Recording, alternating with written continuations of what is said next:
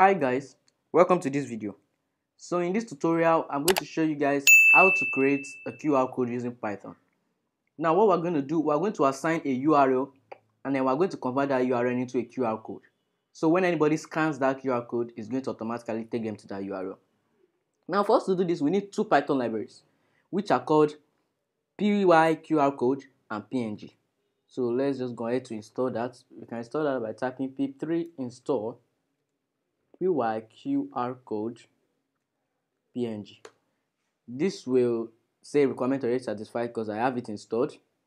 But if you don't please don't forget please make sure you allow that to install completely. Now let's go ahead to import pyqr code and let's import png and then from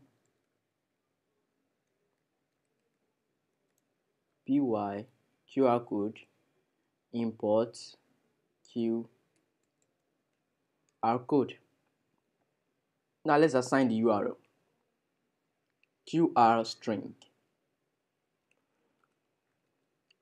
equals to now in here we're going to type the url let's say www.youtube you want to assign the url of my youtube channel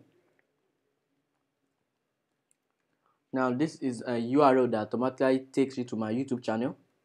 Now we're going to create a qr code for this. So when someone scans that qr code it automatically takes them to my youtube channel. Now let's see url equals to pyqr code dot create open brackets using the qr string url then we'll say url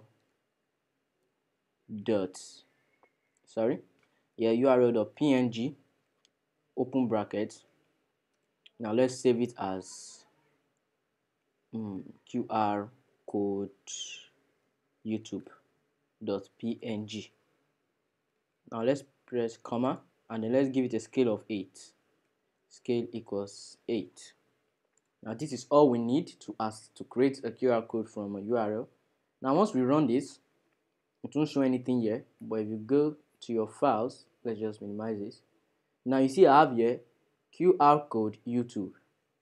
Now once I open that as you can see this is the QR code to that will take you to my YouTube channel. If you have a, a phone that has a browser that has a QR code scanner you can scan it right now and test it out. It will automatically take you to my YouTube channel. Now that's how to create a QR code from a URL using Python I hope you guys enjoyed this video. I hope you learned something. If you did, please don't forget to smash the like button and please subscribe. And please turn on post notifications so you get notified when I drop new videos. Thank you for watching.